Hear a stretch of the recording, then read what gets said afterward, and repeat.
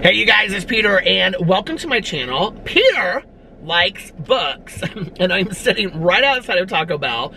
I literally, look at these flowers right in front of me. They are so pretty. Did you see those? And I literally just finished my review video. I just reviewed the new pineapple whip freeze. So you have to go over and check it out, but I can tell you it's delicious. And I'm eating my dinner, which is a bean burrito.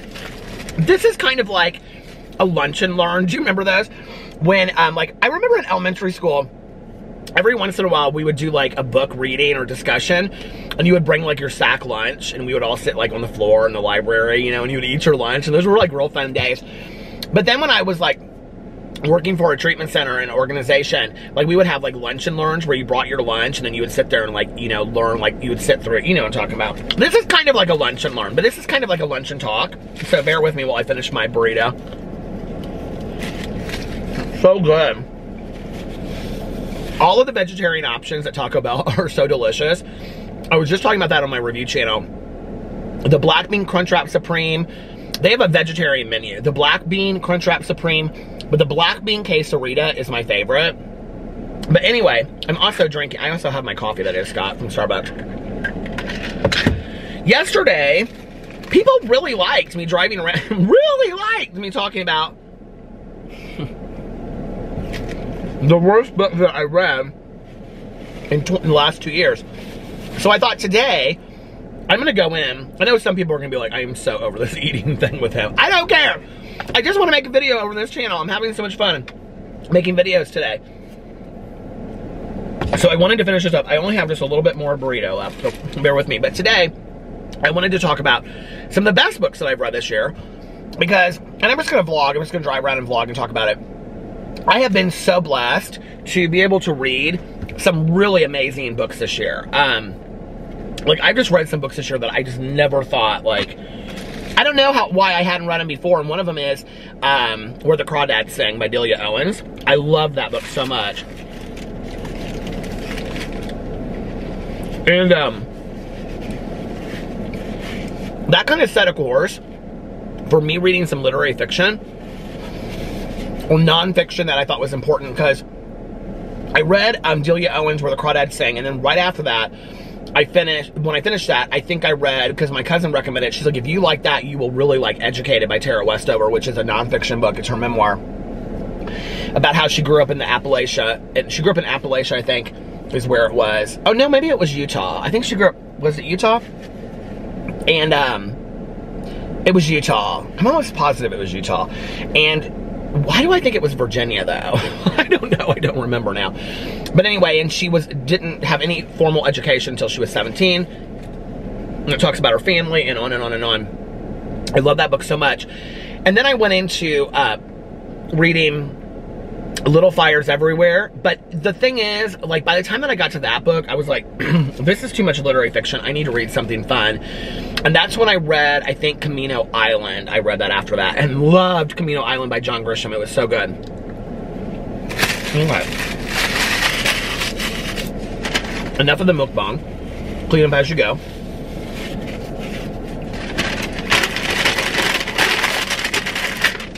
So, um, I wanted to talk about some of the other books though because I have read so many books that are good this year.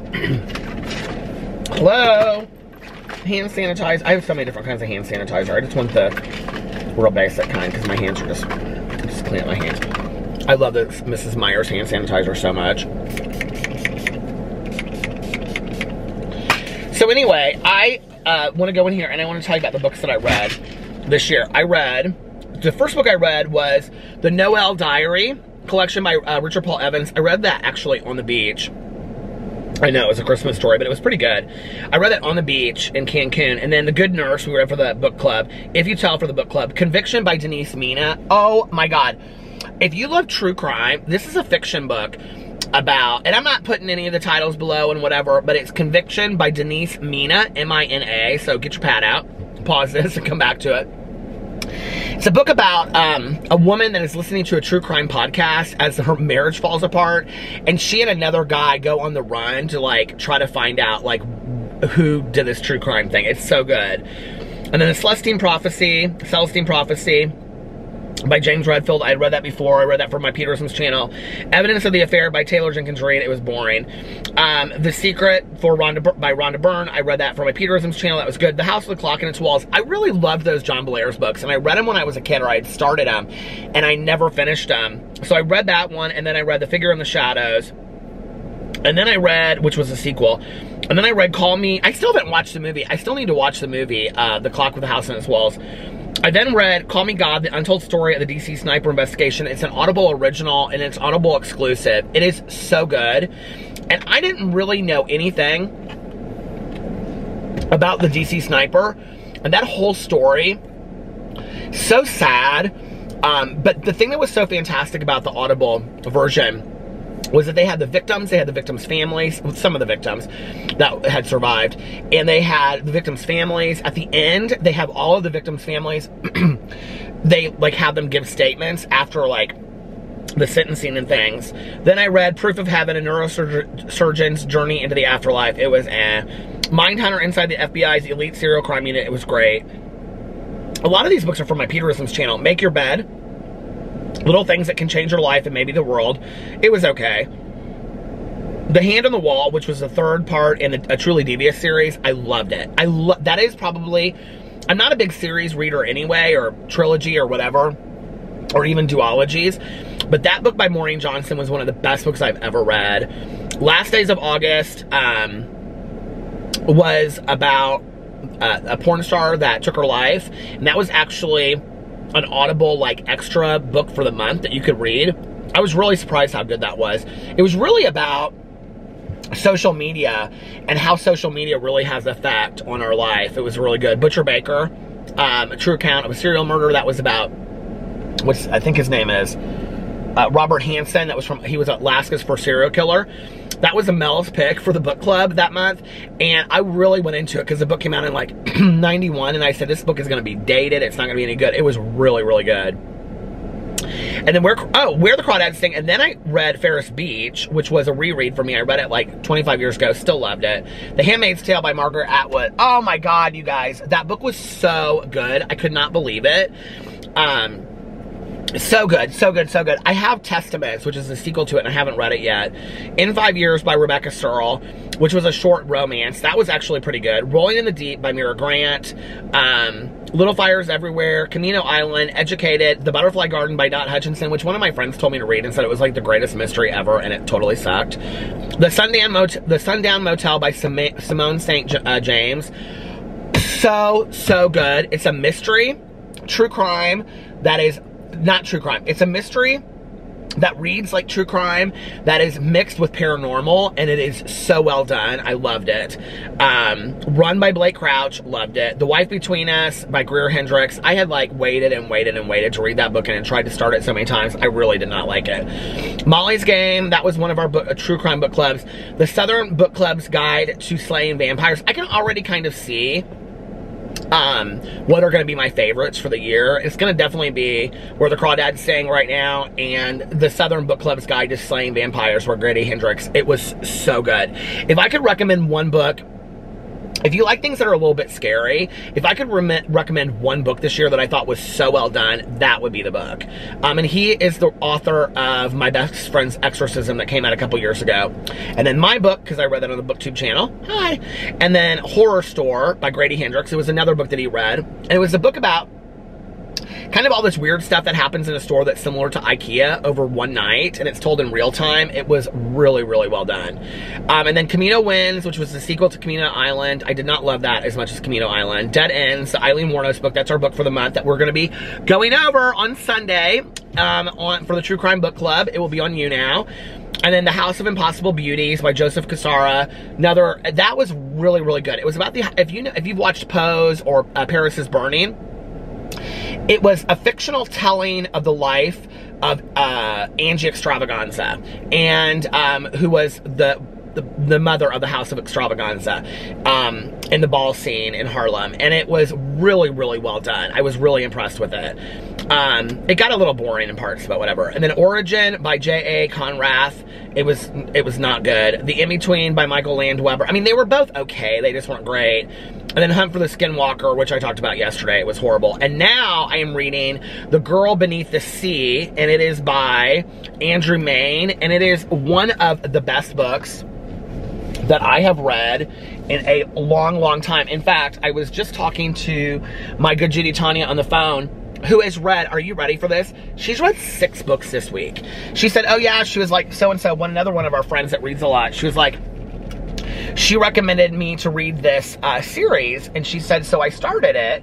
And I said, well, how far are you in the series? And she goes, well, I finished that and I started a new book last night. She goes, but I'm almost done with it. I'm like, Tanya reads so much. And I was like, how do you get through these books? She's like, I just sit on the back patio and I just read and read and read. And she just gets through these books like nobody's business. She reads all on her phone too. Because she likes it like where it lights up. I can't do that. But anyway, um, yeah, she's read six books this week, and so I was telling her about it, and she said, "Is it really that good?" And I said, "Yeah, it's fantastic. Like, it's probably one of the best mysteries I've read in a long time. It reminds me a lot of um, like Michael Connelly books." And I can't remember who else I was thinking of last night when I was reading it that reminded me of. Um, it kind of reminds me of, I read them like a mix between Patricia Cornwell and I can't think of her name, but she wrote the Deja Dead books back in the day, and I really liked those books. But it reminds me of those as well. And um, they're just, it's really well done. It's about this woman, and she is a, uh, a diver, and her dad was a treasure hunter, and it takes place in Fort Lauderdale in Miami, which I love anyway, because I want to move to South Florida. And, um, she dives for the police department of Fort, the Fort Lauderdale Police Department, but she's doing something else and she's diving in this canal and she comes up and there's a dead body and all of a sudden, and I'm not ruining it for anybody, this is like right at the beginning, all of a sudden she's a suspect, but she's also being chased by the people that killed the, the body that comes up in the water. It's very like intense reading it, and um, it's just really well done. And so I hope it becomes a series. I'm really excited about it. And um, yeah, I just feel so blessed. I have read that car almost swerved and hit me. I am so I feel so blessed for all of the great books that I've read this year. And you know, I think the thing that has been helpful is that I haven't like planned out a lot of my reading. In fact, like when I'm done with a book, I'm like, what do I want to read next? And I look at what I have or I look at Audible and I like go and order, like I just recently um, just got that book like a couple days ago. And I also got the um, Suzanne Collins book, the new Hunger Games series book, but like now I kind of don't want to read that right now, so I may wait and read that later. Um, I feel like I'm, I'm kind of in this moment where I want to read thrillers and mysteries, and so I think I'm going to continue to, to do that. And then if when I'm done, because I, I go through phases where I read like a couple books that are literary fiction, a couple, and I haven't really read any like a young adult this year at all. And I have a couple young adult books that I want to read. So maybe I'll do that next. I don't know. But you know, like it's I just feel so blessed that I have read so many fantastic books. I mean, when I look over 2020, there's only been two to four books that I have been like, eh, they haven't been that great. You know what I mean? So, I mean, there have been years before, and I talked about this yesterday, where I feel like I get stuck in a book and I can't get out of it, and I'm just like, ugh, whatever, you know? And then I just keep on reading it for whatever reason. I have a hard time DNFing a book. Do you have a hard time doing that? I have like a really, really hard time DNFing a book. Like,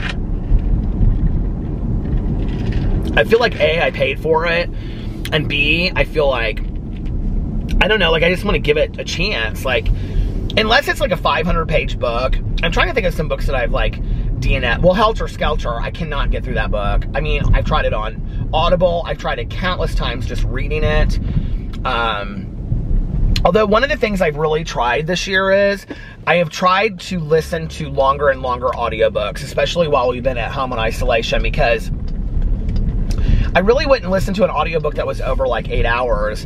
And recently I tried to push it up to like 12 or 13 hours and some 16 and 18 hour books. And I'm trying to really uh, listen to longer and longer books because a lot of the really great books are really long, you know? Um, the Harry Potter ones, which I, again, of course, this year want to finish that series and I haven't. Um, I want to read that book, the by Yana Hanagahara. I can't remember what that book is called. Um, and I want to. There's so many books I want to read that are really long, but like for me to listen to or sit down and read a massive book like that, like I have to really, really, really be into it. So it's been like, you know, this year has been like really good for me to listen to longer and longer books because it's helped me like you know i don't know realize that i can listen to a longer book and not get bored. And sometimes the longer books i've listened to i've enjoyed more than the shorter books i've listened to so anyway that's about it that's about all i have for today i hope you guys enjoyed that little vlog it was so much fun little vlog mukbang lunch and learn and um, if you guys have topics you want me to talk about that I can just vlog and drive and talk about, let me know. Put it in the comment section below. I love you guys. I will be doing a couple tag videos later in the week. I have like two that I've been, that one that I've been tagged in and one that I want to do. Um, so I love you guys and I will see you then. Bye.